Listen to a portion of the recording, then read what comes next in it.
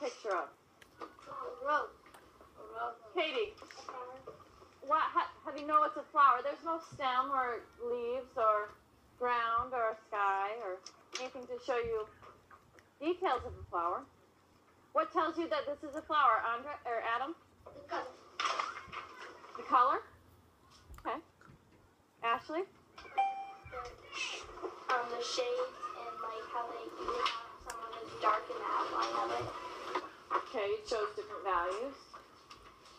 Okay, but anything can have values and anything can have color. How do you know this is a flower?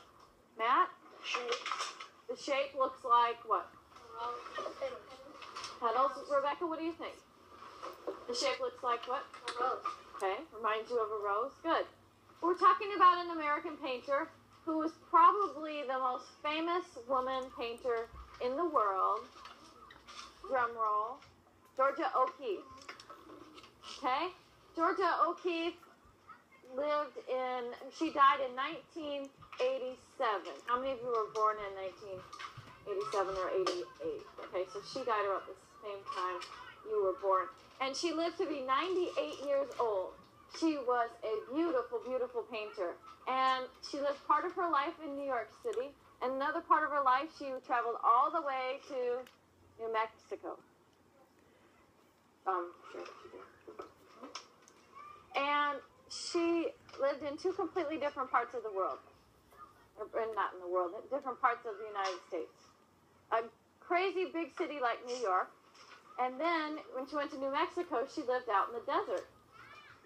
And she loved them both. She finished, she lived the last half of her life in New Mexico though.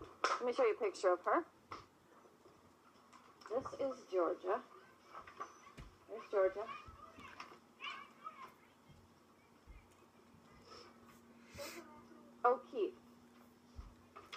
Always pretend like I'm sneezing. Like, oh, I teach the kindergartners to remember her name. And Georgia loved to paint about the things that were around her. When she was in New York, she painted about the big city. And we have this painting right here called The Shelton with Sunspots. So she painted the big buildings. But she had a special way of painting that changed objects so they didn't look exactly real. What do we call that when something isn't exactly real looking? Uh, Adam. Yeah, okay, but when we're looking at artwork, there's a special word. Like Pablo Picasso, when he would show a person's face and he would show it from all different viewpoints at the same time. What do we call that? Abstract, right. And Georgia would pretend when she painted her flowers, she would pretend she was painting it from maybe a bumblebee's point of view. Because that bumblebee would go inside the flower and everything to the bee would look giant. And that's what she would do to her flower paintings. She would take a small flower and she would enlarge it so that it was huge. This painting, for example, is probably as big as that screen up there. Okay? Kind of like thinking that she wanted people to notice the small things around you, especially the small things in nature. And kind of like thinking about the movie uh, Honey, I Shrunk the Kids. How even a tiny blade of grass would look like a giant, giant tree if you were the size of what?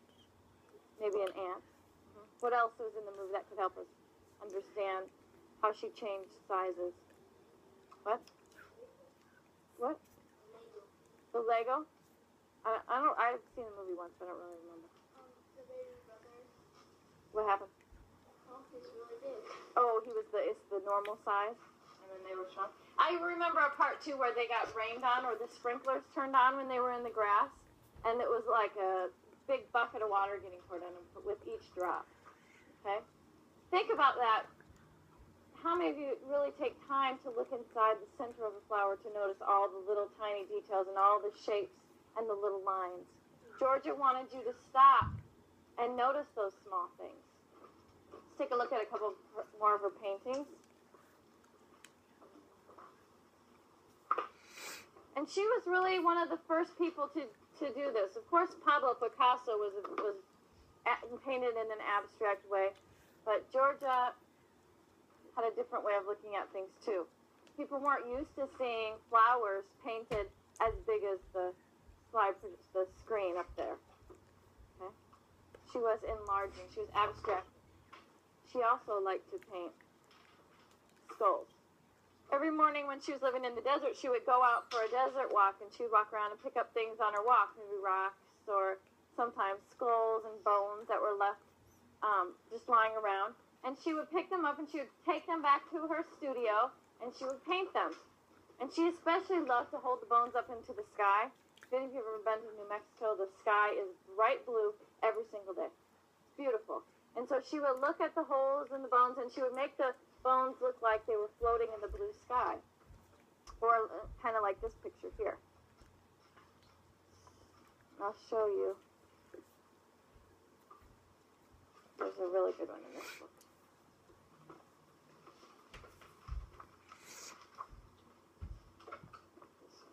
People thought she was kind of dreary and gloomy for painting bones from dead animals. But she didn't think that at all. She thought that the shapes were the beautiful thing. And she didn't think that, she wasn't really thinking about it being a bone. She just liked the shapes and she liked the way it looked uh, in the sky. Here's another one. This is a red, red, white, and blue skull. And here's more of what the architecture looked like in New Mexico. So look at that one, and then you look at the one of the skyscraper. You can kind of see the difference.